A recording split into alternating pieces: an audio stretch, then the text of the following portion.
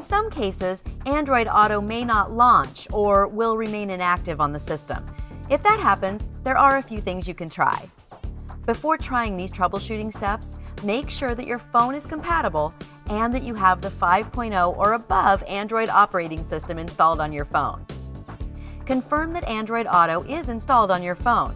If not, install the app and try reconnecting. Make sure that the location mode is set to high accuracy.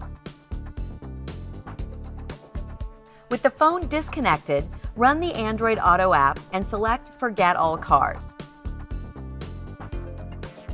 In some cases, you may have to force stop from the application manager.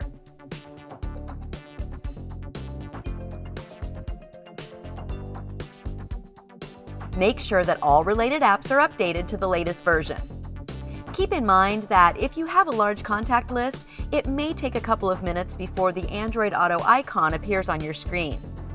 If these conditions continue, try uninstalling and reinstalling the app.